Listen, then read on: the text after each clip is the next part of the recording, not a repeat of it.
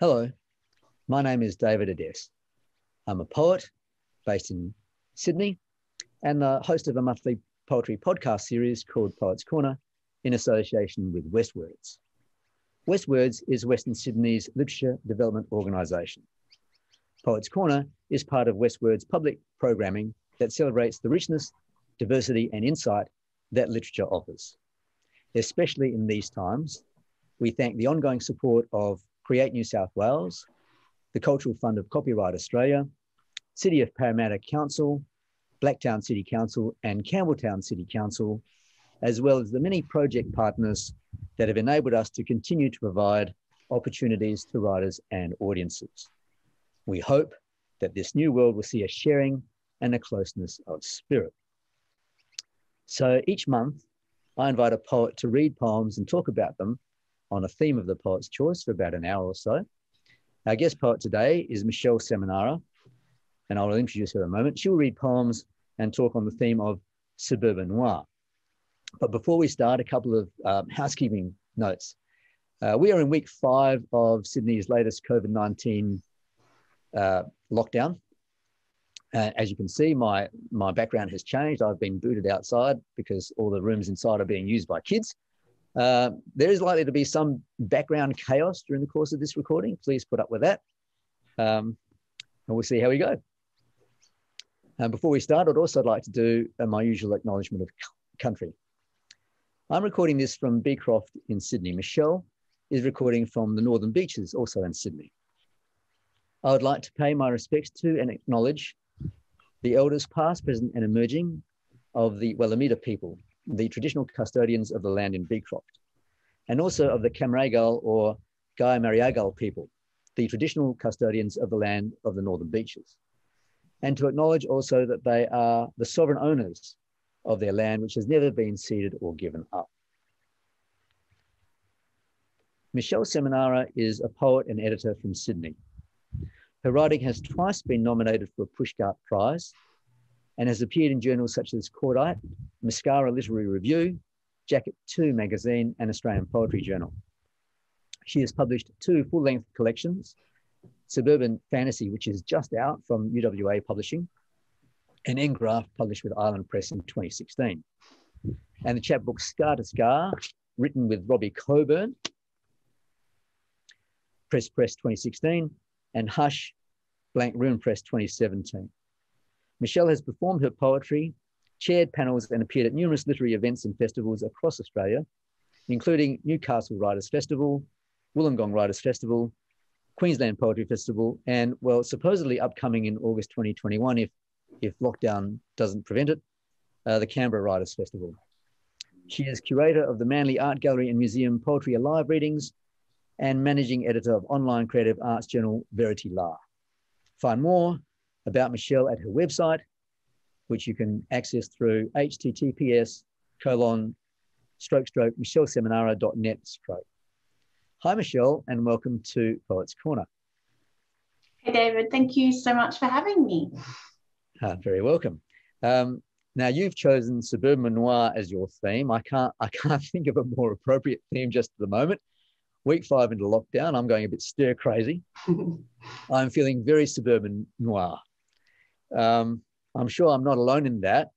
And also in wondering what goes on behind all the doors of all the houses that I that I walk past in my daily walks when I'm trying to get out of mine.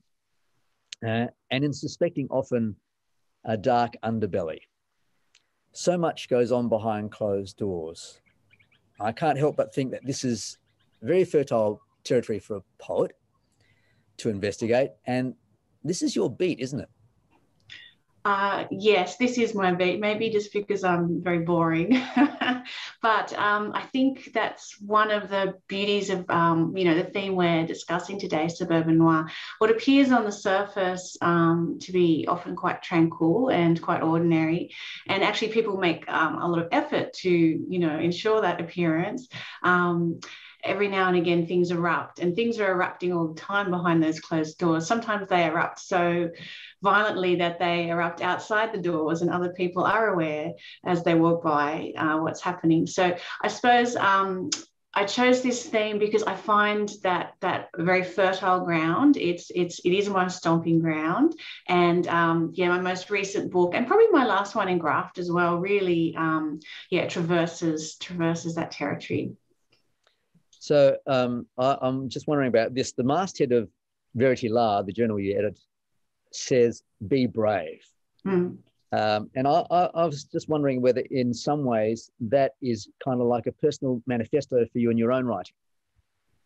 Ah, that's a really interesting question. I inherited that um, masthead from our my former um, uh, Verity La editor, who was um, Nigel Featherstone. So he very much um, he was lovely. He trained me up for a few months before i took the journal. I had no idea what i was doing and i was being quite brave slash stupid slash naive in taking it on i think. But sometimes you know what you don't know um, gives you a little bit of extra bravery you know if you knew you may not have done it. So um, I inherited Be Brave from him. And actually, that was really great because whenever I came back to him in the first few months when I was sort of training up as the managing editor, if I had a difficult decision to make, whether I had to tell somebody, I had to grow a bit more of a spine, you know, tell somebody something I didn't want to, or refuse publication of something for certain reason, whatever it was, Nigel would always say, um, just make the be brave and make the decision that is right for the journal that is your job you know. So that was really good training for me. So i think um, i think I, although I've inherited that um, that little tagline, it definitely is something that um, being the editor of Verity La has helped me to um, bring more into my life, you know, professionally and personally. And yeah, I, I like the idea of um, bravery as something where you, you know, you're quite afraid um, for consequences, whether it be for writing and, and putting some stuff out there, which, you know, might shock people, editing, or just in your average life um, I like the idea of feel the fear and, and do it anyway. So I do tend to live and die by my sword. well, I mean, I, speaking personally, it's hard to be brave. So yeah, it, it is hard to be brave. It's funny. I, I find it harder not to be brave though. It's strange because um, sometimes I know that when I'm making certain decisions, I should actually um, probably or more on the side of caution. But if I can't sort of sleep straight in bed at night, if I can't live with my own decision, I find that harder than um, you know swallowing things down and just putting up with things the way they are. So I, as much as I find it hard to be brave, I think the only reason that I often push myself to do that is because I find it harder not to be. I find it harder to um, live on live on my knees, as they say. All right. Do you want to start reading a poem for us? Sure. So the first poem I'm going to read is called North Facing. It is the first um, poem in my new collection, Suburban Fantasy, and actually, um, it's it's a sort of a, an opening poem, a way of entering the book. Um, and yeah, I think it is it is quite a revealing and brave um, poem, and as I say, an invitation to step into the quite dark underbelly of suburbia, north facing. This house has too many windows. Anyone can see in. It's one of those houses people stroll through the back door. They feel free. This house was not chosen by me, but by my husband and father, who pronounced it to be a fine, solid, master built house, built by masters who morph into monsters. It opens benignly to the morning sun, turning in the right direction. I'm told I should be grateful I am not, which makes me. This house has two stories, two stories. The downstairs unrolling like a fiery tongue. I was always afraid to be pushed down.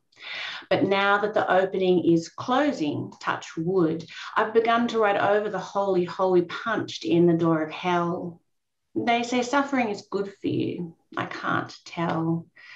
This is not my home. I don't live here. I abide in the safe house my mind has constructed from wordwood. Only I can enter the back door. Others must knock. If I choose not to be home, I'm not. But here, my face faces painfully outwards, overexposing its northlit bits. Here, there is only one room to hide in, one secret space in which to sit, and this, this gash of a poem, this is it. Cheery um, beginning.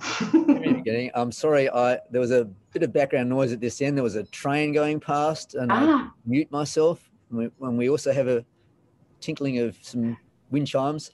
Um, yeah. Now this this poem is full of foreboding. So mm. it's a it's a it's a kind of scary way to enter a book. Really, first up, it demarcates a schism between house and home, doesn't it? Um, the house as you say, opens benignly to the morning sun. But there is nothing benign about the house for the narrator, is there? Mm-hmm. You're quite right. You know, this poem, um, I, I, put it in the beginning. I was kind of inspired by um, a book I love is Satan Says by Sharon Olds. It was her first, you know, first book, I think. And it opens with an incredible poem. I can't remember what it's called now, but it's it's a box opening. And um, there's there's um, a very tortured sort of female presence inside that box. And it in, invites you into the Pandora's box that the, the, the poet's collection is opening, you know, and it's full of very dark suburban noir. So I was a little bit inspired by that to place place this poem first. Um, yeah, hopefully people people read on and don't get too scared. well, the, the narrator is not at home in her house. She's trapped. She's a prisoner, in effect, deprived of choice and autonomy, and has to seek refuge in a secret room in her mind. Does this does this poem come from lived experience or from knowledge of lived experience? Or have you just imagined the narrator in this scenario? I would say all three, David. You know, obviously the impetus, well, for me anyway, the impetus of a poem always comes from some sort of lived experience or just emotion, you know, emotional spark. There's got to be an intensity there, something you're driven to express. Of course, after that, you know, it is an artistic construction. So you have to um, then, you know, bring in, as you say, other people's experience, knowledge of other people's lived experience. And um, a huge part of this book is talking about female autonomy. Um, and uh, liberation in the sense of freedom, not just externally, um, but internally. So I think all three. Um, uh, when this book came out, actually, my mum came around and she and she got a copy of the book, and I said, "Mum, just don't ask me if I'm okay after you read it. I'm okay." so nobody asked me if I'm okay. I'm fine. All the darkness goes into the poems, but I think sometimes when people read poetry, they always assume that every poem is, you know, some sort of autobiographical nugget from from the, the narrator. And to some sense, that's true to some extent, I think, um, that there is that emotional spark that, that must ignite the poem. But I think after that, all bets are off. So, um, yes, I would say all three. Well, that's why I refer to the, the, the narrator. I oh, know, you're very tactful.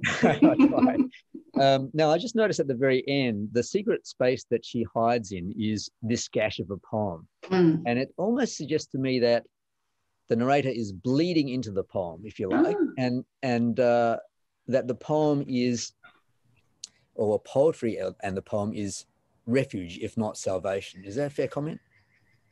Yeah, very much so. You know, that's very much how I came to poetry. I've always written, but I've only been writing poetry for about probably about seven years now, actually. And one of the reasons I really, uh, I've always loved reading poetry, but I didn't think I was, you know, much good at it. But I began writing poetry at a time when, um, you know, I was, our family was going through quite a difficult time. And also, I was so, so busy. You know, my children were much smaller then. I had three smaller children. And I literally, I, I really felt drawn and driven to write, but I didn't have time. I didn't have free hands. Um, so poetry became a real refuge in the sense that it's something I could tinker with in my head as I changed nappies and hung out washing and so forth. And then later on, when I did have time, I could sit down and write. So it, yeah, for me, it was very and and continues to be very much a refuge. I think that's one of the greatest gifts that poetry um, gives us as a society as well. You know, people who don't even normally read poetry always turn to it when it comes to the big stuff in life. You know, it's got a particular way of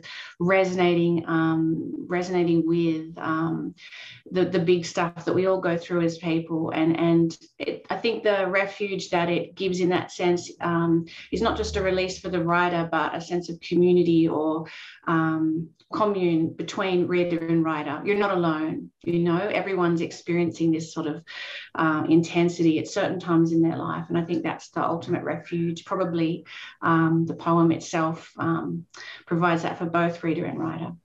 Yeah, well, we we write in order to connect. Mm. I, hope, I hope we do. uh, mostly. Uh, what's your next poem? Ooh, let's have a look. Surprise, surprise bag. Ah, another cheery one.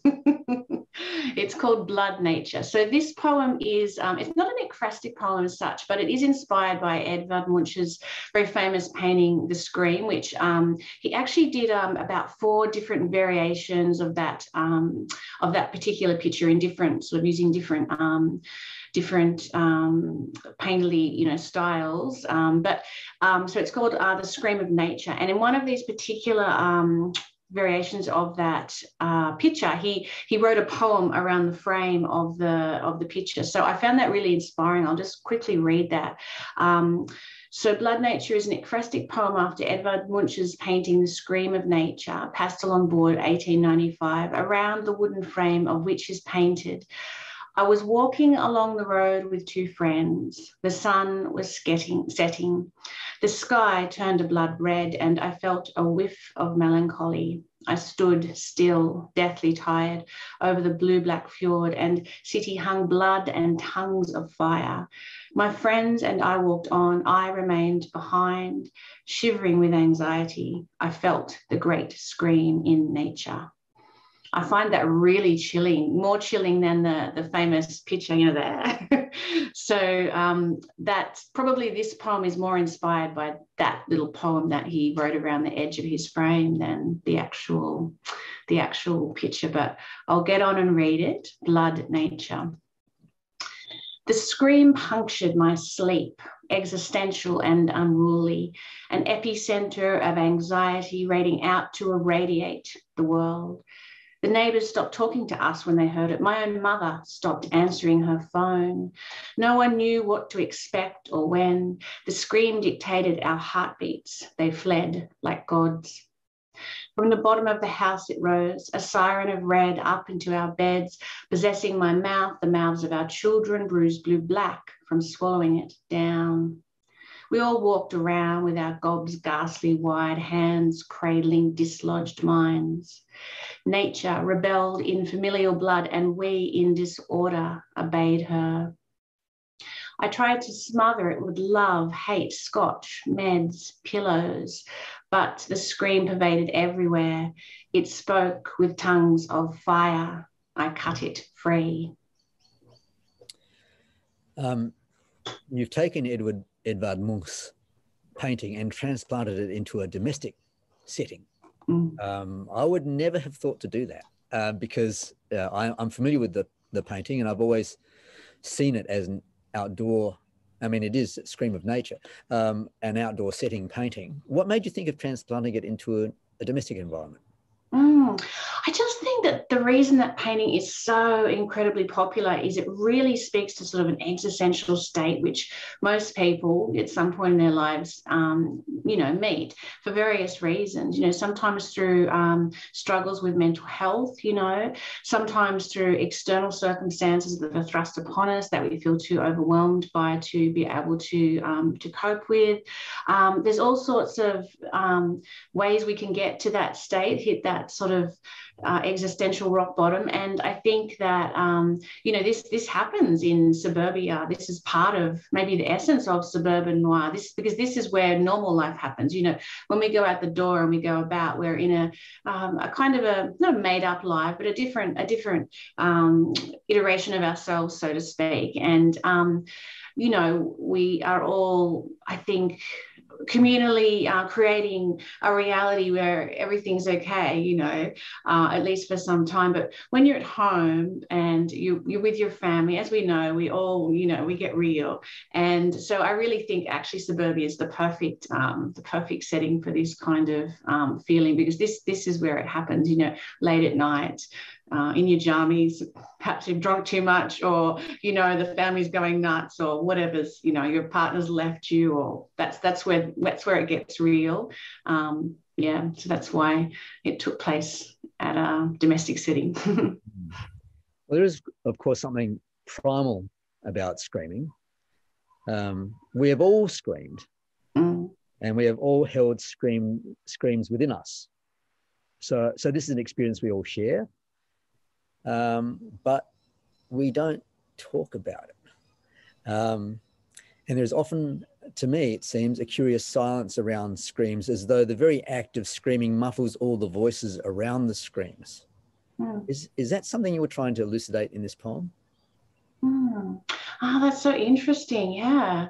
I think. Um, I think in this poem, what I was really trying to um, express was the um, the catchy or um, not catchy as in sense of you know um, like a catchy jingle but in terms of the way something jumps from one person to another you know the anxiety uh, in one person especially when you're close to people you know. So for example um, if you have someone in your in your family or close friendship group but i think particularly family you know who's going through something really tough it's not just their problem it's your problem. It's not just their scream it's your scream. And i was trying to um, yeah, sort of elucidate the panic and the anxiety that jumps from one person to another. Um, it's like a virus in a sense, and it's very hard to keep your center and, not not be swept up in that. So, um, yeah, the scream, you're right, it does. It silences everything else. It pushes everything else to the edges for a moment um, and becomes the most dominant and controlling emotion and, and thing in the room. And yeah, so I suppose to some extent I was expressing that. How, how, how do you cut it free? Ah, that's a good question, David. That throughout um, throughout this book, Suburban Fantasy, there's a there's a lot about being a mother in this book, um, and we all know that being well, not everyone, but you know, we're all being at least children, we have you know parents. Um, many people are parents, uh, but particularly when you are parents, it's really interesting as your children go. You know, there's there's a sense where you have to let go, and um, you have to um, let your children, you know, make up their own decisions, and even if even if that's something that you don't approve of or you think will you know bring them some harm you have to it, i think that's one of the hardest parts of parenting. When children are very little it's very difficult because you're very hands on and you hardly have time to you know scratch. But um, you can to some extent control their world and um, make things better. As your children grow this is no longer in your in your power. And that's actually a really difficult thing um, as a mum i've found that the the letting free or the cutting free you know and sometimes it is a cutting free because you sometimes have to have boundaries up to also protect yourself you know in certain situations and and not step in and solve other people's problems so i think um, that's what the cutting free refers to the difficult stance where you, as much as you may love somebody, um, you don't have the power necessarily to set things right. And as a mum, that's a really hard, hard truth to come to terms with. I'm sorry, there's a bit more background noise here, a bit, mm-hmm. of external noise. Um, yeah, I find that tricky because it seems to me that the scream almost takes residence mm. and that it becomes uh, a reflex a pattern of behavior that, you know, happens before you can stop it from happening.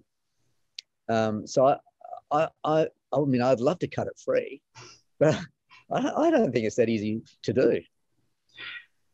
It's not. It's not easy to do. It's not always an option. Yeah, definitely. Yeah.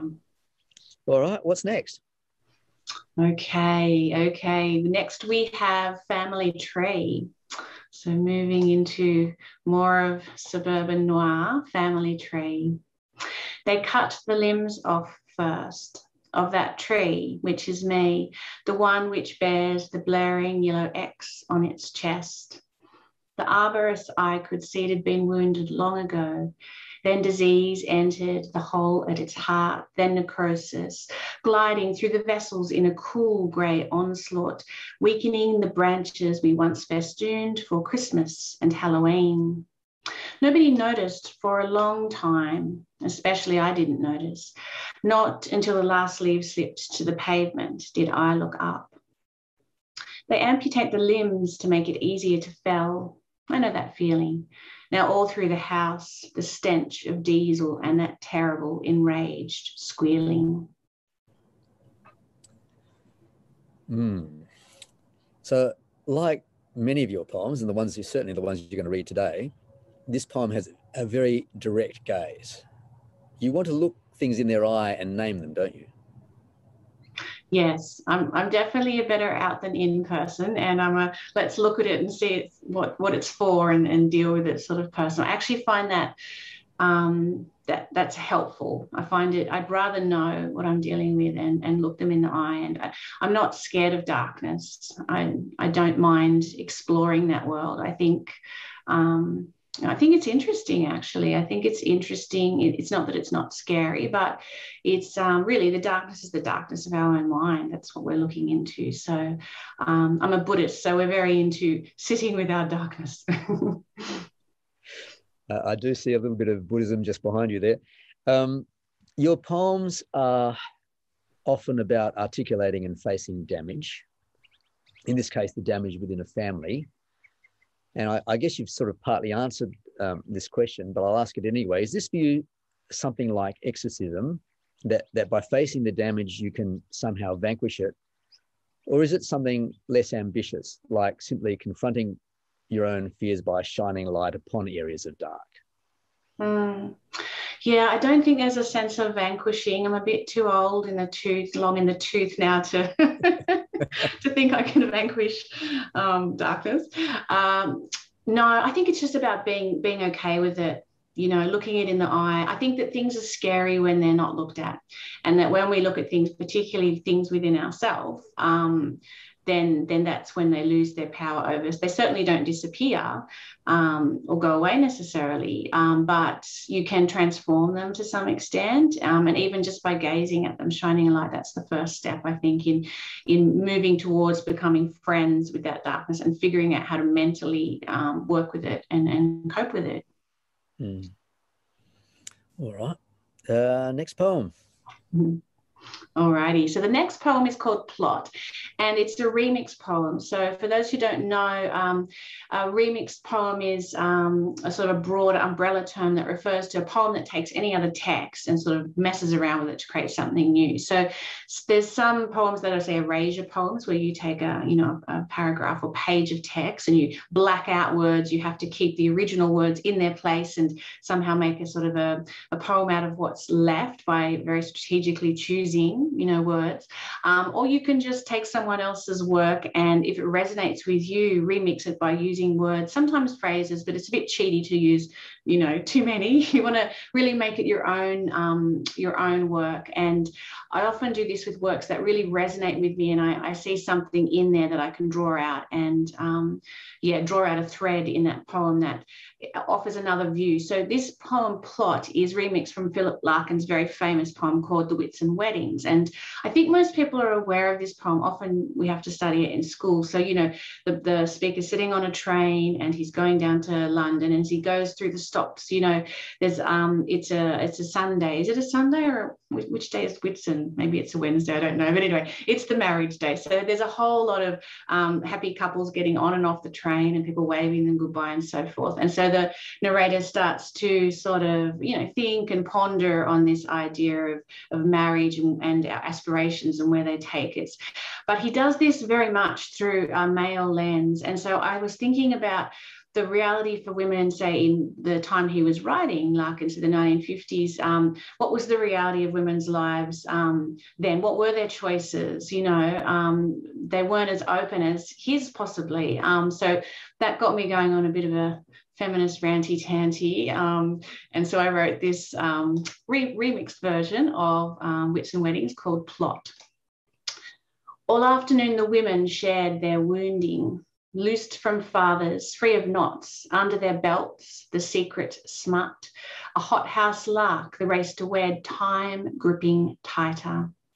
Along the line, children defined the marked off landscape of their lives. Marriage struck, then swelled, then slowed, the girl displaced inside. A blinding sense of nondescript, bright parodies of dull success, their aims like arrows falling out of sight as if they'd died. And not one flashed uniquely, and nothing fresh survived. Yes, uh, nothing fresh survived. Um, I've always thought that sharing wounding is a good thing. You know, that if you share a wound, you can come to a better understanding of the wound and and find support that might lead you um, towards some form of healing. Mm-hmm. Is this poem turning that notion on its head and suggesting that it is all a waste of time? Well, it is. It is quite a, a cynical poem, isn't it? I suppose not so much. I mean, I think that probably the, the, the positive note, the one positive note in the poem is probably the women sharing their wounding. But I think what that really alludes to is that, especially in say 1950s suburbia, much more so than in you know 2020 suburbia, a woman's options, um, her ability to really be frank about um, the realities of her life and and the actual realities of her life, um, you know, as a, as a young person expected to get married, have multiple babies quite quickly, not be able to own property, not be able to necessarily get a great job, and so forth. Um, this means that there's a whole secret life of women going on underneath um, underneath Larkin's gaze, certainly in this poem, you know, um, which he didn't write about in the poem. Um, so that's why I thought I would unearth some of that, using his own words to um, to create a sort of a alternative reality um, to to the one that he was um, holding up in the poem. So I think women sharing their wounding is it's it's a positive, you know, and that's that's where women get get a lot of their strength from, particularly I think in times when you weren't. Uh, it wasn't okay to talk about, you know, talk about the realities of life. So, yeah, I think the the wounding is is a positive thing, um, and I think, yeah, that that's where we do find refuge in sharing our wounding. That that's a great that's a great um, sort of summing up of, of poetry. I think. Well, women have always done this, I think, and in, across every culture. Um, and it's something that men are only really beginning to tap into and start to sort of get some sort of solidarity amongst themselves as well. Um, for men, sharing wounding is is not a natural thing. Um, maybe we need to learn from you. Uh, but uh, it'd be interesting. I'd I'd really like to know what Philip Larkin would think of this remix. It could be quite scathing, so I'm not sure I'd like to know. What's your next poem, Michele? Okay, so next up we have um, another one where, you know, turning the idea of um, exploring the idea of motherhood. And this, you know, when you first have a child, um, you know, I can only talk from the experience of a mother. Um, it's very much a sort of um, metamorphosis of yourself as a human being. Um, so before you have the child, you're you're seen as a, and you think of yourself as a singular you know creature um, and then you become this thing called a mother. And so there's a real transformation um, of yourself and you have to go through um, a real psychological shift which i don't think is something that people really talk about very much. I think we all talk a lot about the physical changes you know your body will go through. But no one will when i had my first child you know ever really prepared me for the mental the mental changes. And i remember being just absolutely shocked. Of course having your first baby is a huge shock for many reasons but i remember just um, a couple of weeks after my first child was born just i dropped her off with my mum uh, for a couple of hours and i just went into i have a lovely patch of um, bush Manly Dam where I, we had a house a family house right next to there. So that was my backyard. I used to just roam through there you know as a kid and that was my my happy refuge. So i just remember dropping my little girl off with my mum, walking into the bush and just sitting on a rock and just going, oh my God.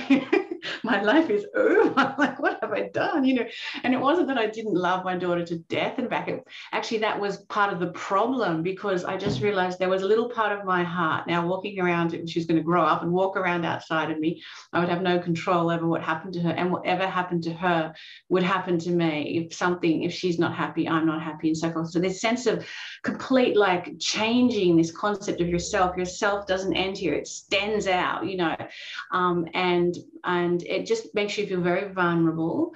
Um, and I felt, you know, quite scared. And it took me a little while to come to terms with all that and then by the time you had the second and third child, it's like, yeah, you know, it's fine. But um, I think that this revolutionary concept of yourself going from a single woman to mother is quite, you know, quite a quite a big thing. And then then what happens is there's a whole lot of societal expectations that you kind of absorb, you know. So, you know, there's a lot of guilt around mothering, and mothers are naturally guilty sort of feeling creatures, I think. But there's that whole sense of, um, you know, wanting to be really good mother whatever that is, and doing everything right. And for first time mums, particularly, they internalize and feel a lot of that pressure, you know. And so, this poem, I wanted to explore what what what mothers as uh, full human beings, you know, what's really going on under that facade. Because, in a sense, you are playing a role when you're playing mother, and you're playing it out of love and for a very good reason because it's what your children your children need. But um, yeah, that's similar sense to what you were saying, David, as you're walking through the neighborhood and looking in at other people's windows and wondering what's going on in there. This poem refers to a similar, similar thing. So other mothers. I wonder if all the other mothers' faces pinch too. Do they eye the time to sip respite? Break out at night to stare longingly in, shock dumb limbs to life, embracing waters. I wonder if they feed on their children, feed their children, if their masks itch and slip in heat, contract in cold, contain the urge, the surge of migratory flight. If years petrify around their sights, the panic of darting eyes, if underneath their aims are warped like wings. Uh, it's such a big subject, isn't it? Motherhood. I mean, parenting generally, I, I find as a father, that I am confronting failure all the time. And I don't much like it, but you know, you just have to deal with the fact that every day you fail your kids in one way or another. And and that's part of the part of the experience. Um, there is a continuous conflict felt by, I think, all parents really, but particularly by mothers, um, because they are locked into a role that requires them to give endlessly of themselves and some of them are more suited to, to that than others, um, with no with no real prospect of escape. Um, not surprisingly, there are times when they can't give more of themselves, or where they do so grudgingly, or where they resist the demands on them, or where they they seek to escape. All of those things, and all the while there's this acute, I think, heightened consciousness of how all the mothers around them are navigating the same territory. I'm sure that this is, you know, the sort of territory that the poem's alluding to. Um, there is a, com- com- is a kind of competitiveness uh, between mothers too, isn't there? Mm.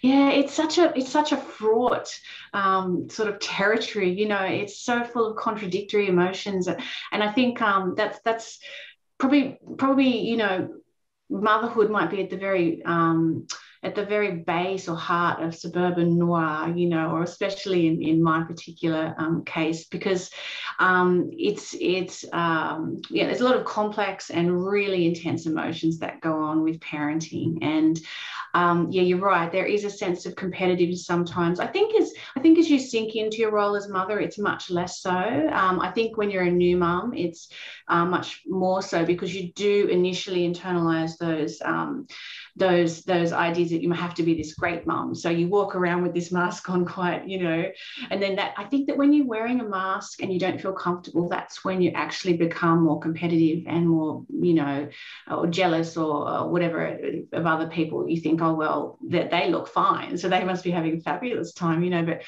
I quite like to look um, to rip the mask off and, and and have a good look. You know, I remember after when I had my first child, you know, I was only quite young and um, I went to, they put you into mother's group, you know, so that, oh, you leave the hospital and they suggest you go to this group, but, you know, one, one session a week for 12 weeks. And I went for a couple of weeks, but my, my first um, child was quite, you know, she was really a big crier, basically. She hardly slept and she sort of screamed most of the time. And I was after a few weeks, I was just like this frazzled mess, you know, this this whole sense of being this Buddhist Zen mom just went straight out the window.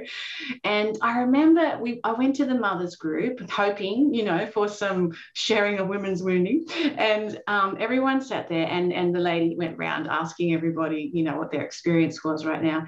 And everyone was like, oh, it's lovely. And, and I'm like, okay, either I'm the worst mother in the world or they're all lying because, you know, this is really, it cannot be true. You know, I'm not saying everyone has the same experience, but it's still a difficult experience no matter what. So I think in this poem, I'm trying to uh, get at that sense of like what's really going on um, below below that mask, and you know that it's okay to say that, and it doesn't mean you don't love your children to the ends of the earth and back. It just means you're a human being.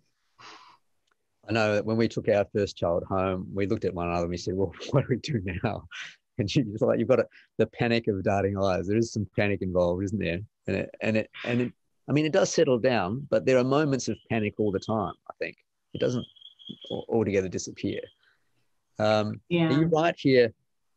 I wonder if they feed on their children, feed their children. Um, but I was wondering the opposite if the children feed on their mothers. I mean, mm. really, that's what goes on, isn't it? Yeah, you're right, actually. That is what goes on. I'm not quite sure why I put that line in. I like the line. Um, I I think it's like it's a very dark, it's a very dark image, obviously, and it kind of popped out of my subconscious, so I left it in there. But you're right, it probably is more a, a feeling of being fed on sometimes. Yeah. Mm yeah, rich territory indeed to to investigate.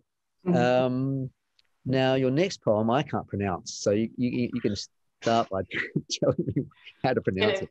Give it a, I'll give it a whirl. I can't pronounce it properly either. So it's a Swedish, um, the title is a Swedish word and it's Uppgivenhet syndrome, which is obviously probably not very correct, but um, basically the term refers to a psychological condition that I think it was first, it's a Swedish word because it was first um, picked up by psychologists um, uh, to describe a condition that refugee children in Sweden were suffering from. So it basically is called sleeping syndrome. So um, later on, um, children in Nauru in Australia and who've been in long-term detention also started to exhibit this um, same condition. And it's basically a psychological response response to just extreme trauma and they kind of go into a shutdown state and they um, they stop eating they stop drinking they fall into a, a, sort of a, it's not it's not quite a coma but it's, it's literally that um, similar so yeah that's what this um, poem refers to and it begins by uh, with an epigraph from um, novelist D.M. Thomas the unconscious is a precise and even pedantic symbolist all over the camps, children's eyes revolve inwards like moons. Their muscles wane as minds release cruel world. They scored their grief with razors. They lit their flesh like flares, but now their legs lie still as metaphor for resignation. Behind fences, limbs grow thin enough to slip through loopholes. Force feeding tubes tether life to life. Judges sanction portals, mothers' bodies flail glass, porous eyelids gauge time to retire. First thirst, then speech, then sight, then sense expire. Beneath the ice, you wend the blank pathways of your mind, your body crossing borders liquefied, withdrawn so far, so far, so far inside. What interim world are you hiding in? In dreams, I hear you calling with the voice of my own child. I keep turning vacant corners looking for liminal beings, lost little ones, my loves. Um, how do you come across this syndrome? I think it was just reading um, some, you know, I'm quite interested in immigration policy in Australia um, and, you know, terrible way we treat refugees and asylum seekers. And so I read quite a bit of news about it. And yeah, I think I just read a newspaper article and it was when they were first starting to report um, on the fact that children on Nauru um, were experiencing this syndrome. And there was a lot of um, resistance from the government, even at this stage, you know, to bring them to, um, you know, to onshore Australia for treatment. And a lot of um, lawyers had to work, you know, pro bono. And I think they went to the um, High Court um, to um, to argue, you know, for extraordinary sort of, you know, conditions and to make an exception and to um, overrule the government and force um, the government to bring the children, um, bring the children to Australia for treatment. There is some suggestion from what I've read that this syndrome isn't really real. It's, it's contentious that, that, that, that not everyone's um, believes that this syndrome exists. Um, but it makes sense to me in a way that that children who've suffered trauma will respond in, in this way.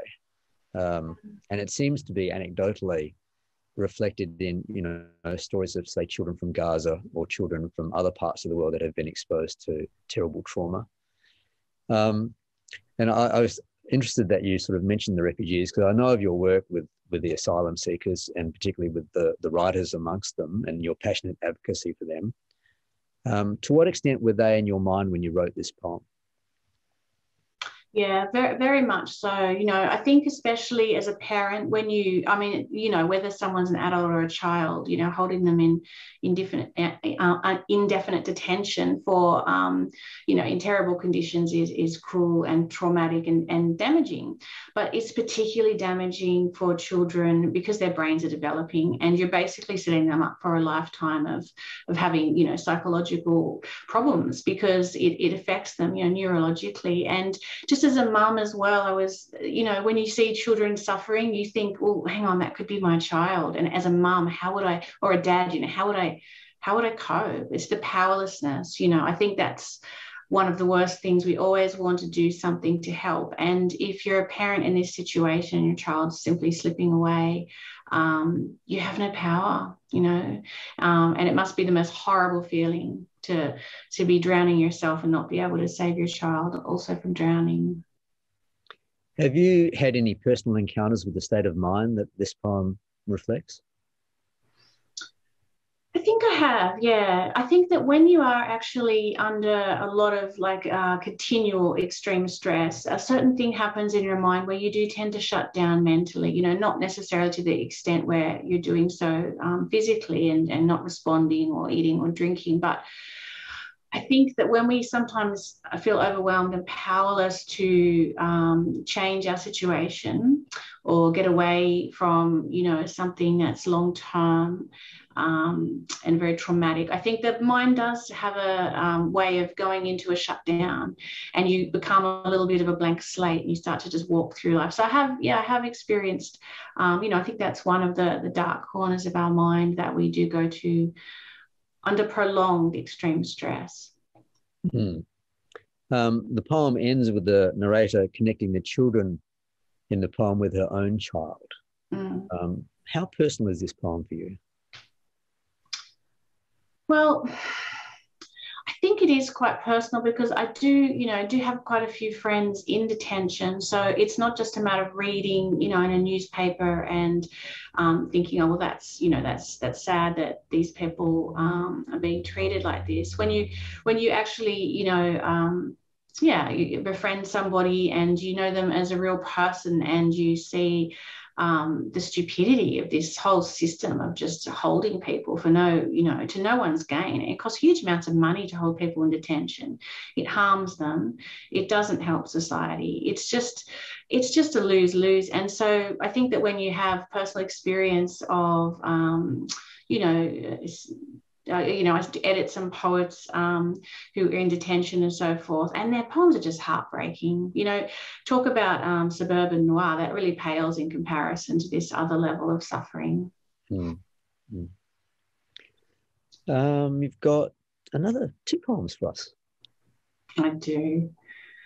Getting cheerier, heading into death now, David. So this poem is called uh, Finis, and it starts with an epigraph um, uh, from The Imitation of Christ by Thomas à Kempis. Remember always your end, and that lost time does not return. For months, you watched perplexed, perhaps wondering why we walked and played less, or why I wept and drank more. Then there were those dark soul nights spent baying in the back garden at the stars, the flawed organ in your vaulted chest somehow pumping powerfully enough to sustain us. But as you ebbed, I failed to notice your stiff gait, your listlessness, the insidious cough as your lungs began to fill with a foamy tide. And by the time I found time to seek help, you were too far gone, your heart swamped with human grief, unfathomable, even to you. well, there's a lot of things that resonate uh, for me in this poem. Um, it brings to mind the the Latin expression "carpe diem," seize the day. Mm. Um, it's hard at the best of times, especially hard in lockdown, not to be acutely conscious of how we spend our time and of what might be perceived as lost time. Um, how to live life without, you know, frittering away time. Um, I know that it was probably written a while ago, but is this in any way a lockdown poem? Yes, you picked it. it is from the, the first lockdown we went through around June, July 2020. So yes, it was a lockdown poem, pretty much the only one I wrote. You know, um, I and also one of the reasons I wrote this poem is to do. We had a beautiful Labrador called Ace, and he died at that time. He was only quite young. He was only six, but he had. Um, we found out he had a, a, sort of congenital heart condition. So from being a very fit, you know, fit dog who just, I thought he just had a little cough, and we took him to the vet. Next thing they say, oh, he's only got a few months to live, and then it was you know, we just tried to keep him happy and comfortable um, while he died. And so there was a whole lot of stuff going on around this time, um, you know, COVID, other personal stuff. And then you learn your, your dog's dying. And then it's just like, oh dear. Okay. So um, what I what I was uh, what I learned from from my beautiful dog, and I think dogs do teach us a hell of a lot, was not to not to waste time because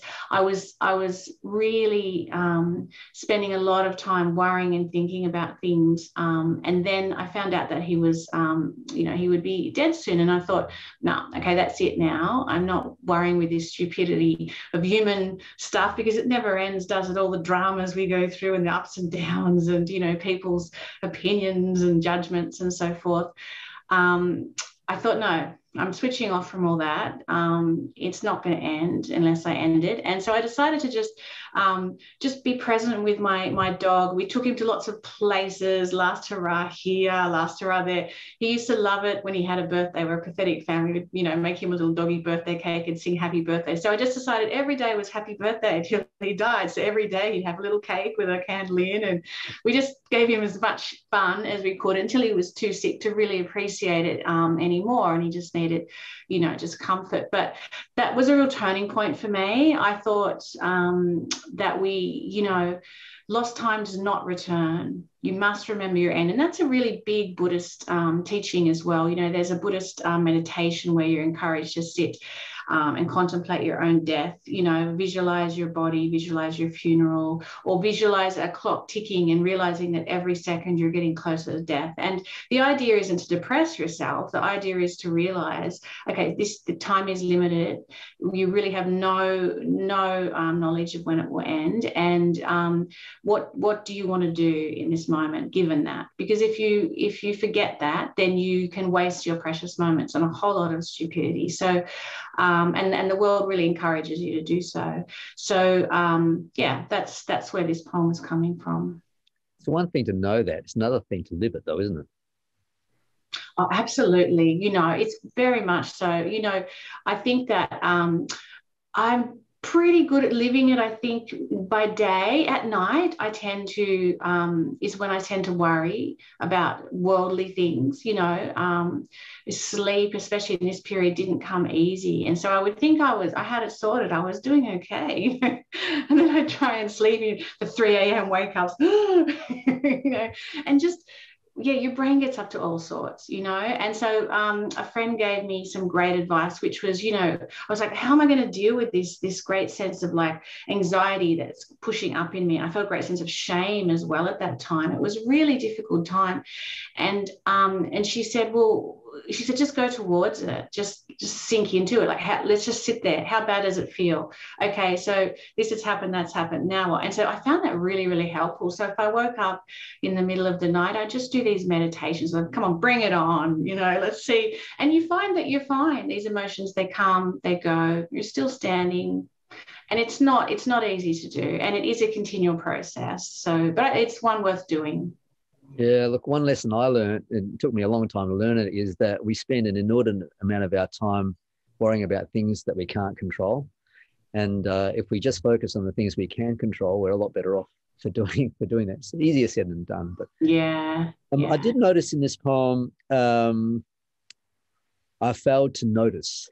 Mm. Um, that's a very strong thing for me because I think that uh, noticing is really important. Mm. And we can go through life failing to notice really important things that are going on around us. Um, Yeah.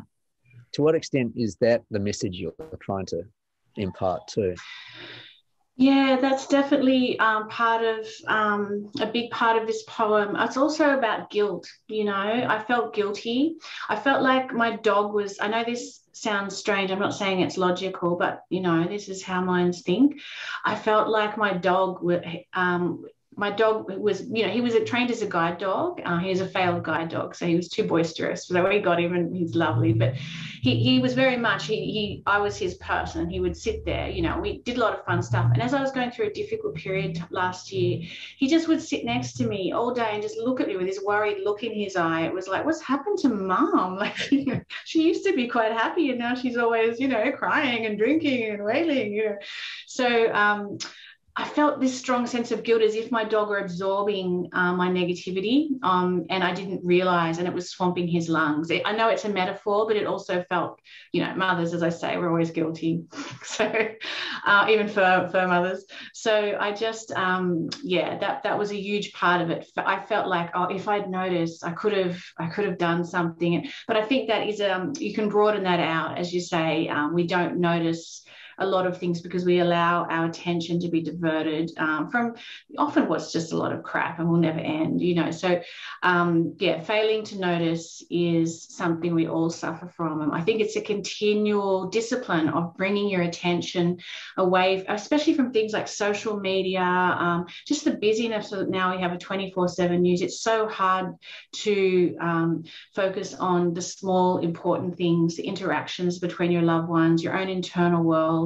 Um, and you know it's it's a discipline that you have to um, you have to practice Yeah, look, I find it's harder and harder to be present. Everyone's kind of like in the past or in the future, but you got to be in the now. yeah Yeah. yeah absolutely yeah. And it's you know it doesn't come easy. I think that we have to really you know it's a very buddhist saying guard your minds you know but it's true. You have to you have to guard your mind. Um, what you let into it is what you eventually uh, become. So it's um, you know you are what you eat mentally as well as physically i think And you have one more poem for us. I do.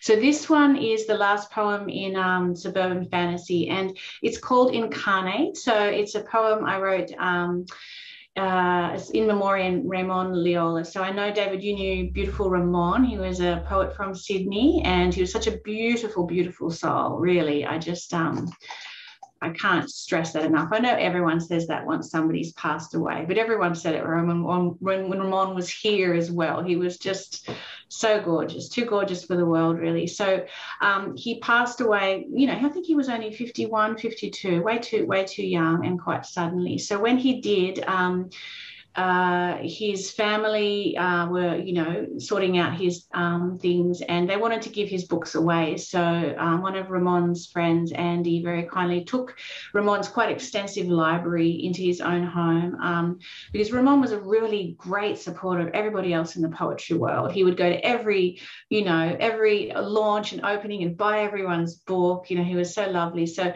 he had this vast library, especially around poetry. And so Andy took the um, poems into his own house, and then he invited his friends. You know, come come over and pick what you would like as a sort of, um, you know, um, in memory of Ramon. So I did, and one of the books I picked up was a book called Four Reincarnations by Max Ritvo. and Max was a young, I think, um, American poet, and so he died quite suddenly, not as suddenly as Ramon, but early. You know, he was in his twenties. I think he died of cancer, and his book Four Reincarnations, a beautiful book, um, all around, you know, the death process and and and renewal as well and reincarnation. So this was one of the books I picked up from Ramon's library, and uh, when I when I did pick it up, it just really struck me about the way, um, you know, this sense of cycling around, you know. So Ramon introduced me to Max Ritvo. Uh, I read his book. It was about death. Um, I was still thinking a lot about Ramon and his passing, and I was thinking about what we leave behind us and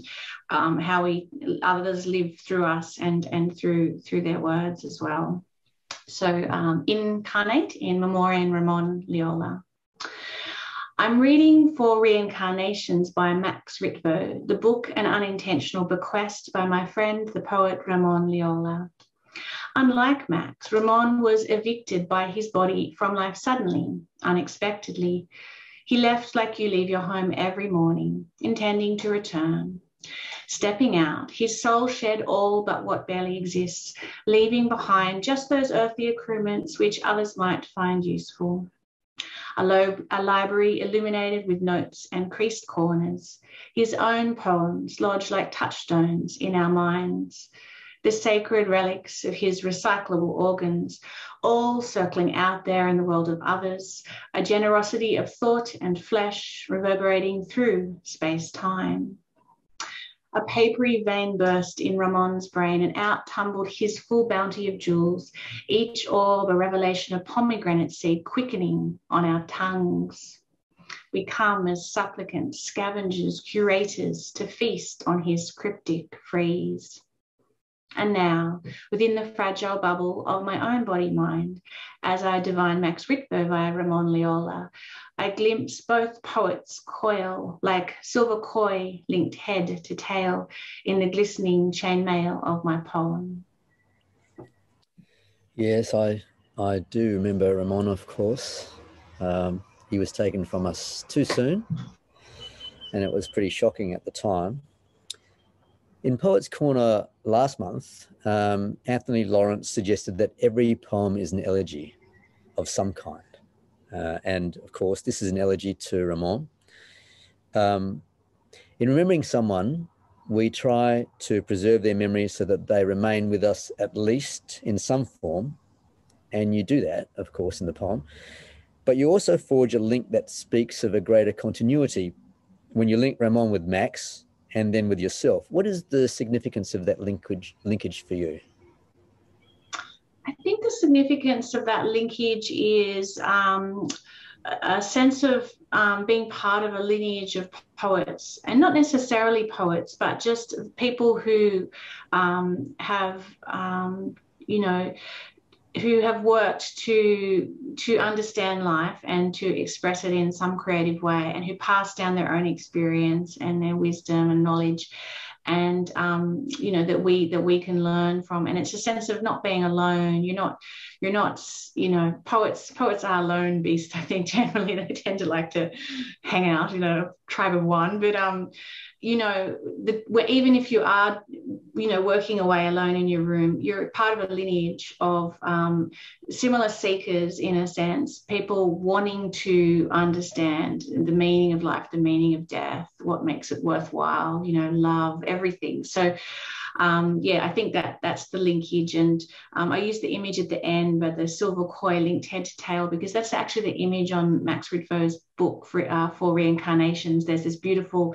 it's like the yin yang symbol. Um, so mm. it's like got the two fish, you know, head to tail going around and around. So I think, I think as a lineage of poets who speak um, to each other, that's, um, that's what that refers to.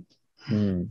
Well, poetry is often a conversation between poets of different generations as well as between poets of the same generation so that that, that there is that sense of continuity does this poem in a way speak to your own mortality mortality oh yes definitely definitely you know i'm i I, I quite like thinking about death. I don't know why. I don't find it um, scary or distressing.